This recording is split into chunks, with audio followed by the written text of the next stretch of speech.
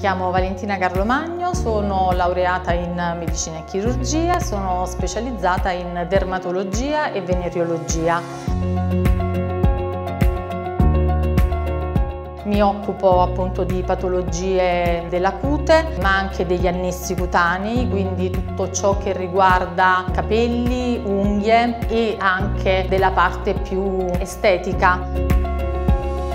Questo periodo dell'anno è quello in cui cominciamo ad esporci prevalentemente al sole, quindi ovviamente è il momento più giusto per chiederci che cosa dobbiamo fare per prevenire una scorretta esposizione solare